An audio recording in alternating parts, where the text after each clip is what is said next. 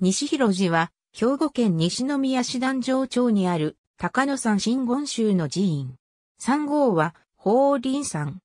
境内には、水天宮が閉止され、清高人清澄寺、門古薬人東光寺等と並ぶ、典型的な北節地域の神仏集合寺院の一つである。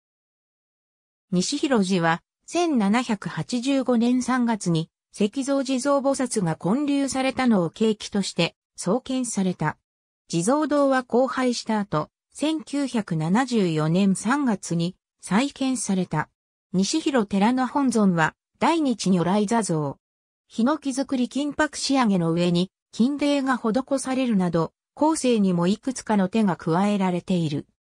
従来は1698年に備前国正田山、朝日寺から移されたという伝承があり、その制作も鎌倉時代と伝えられていたが、造覚部の質感、複眼や法の表現、絵文の彫刻等から考えて、今日では室町時代のものと考えられている。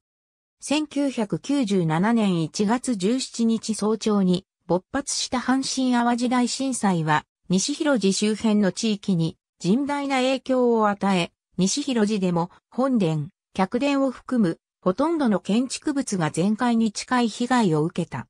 西広寺はその後10年以上をかけて寺院の再建に励み、2008年1月の段階では客殿の再建に力を注いでいる。毎年、正月の三が日は、同時の名物として知られる、アマガイルが無料で配布される。ありがとうございます。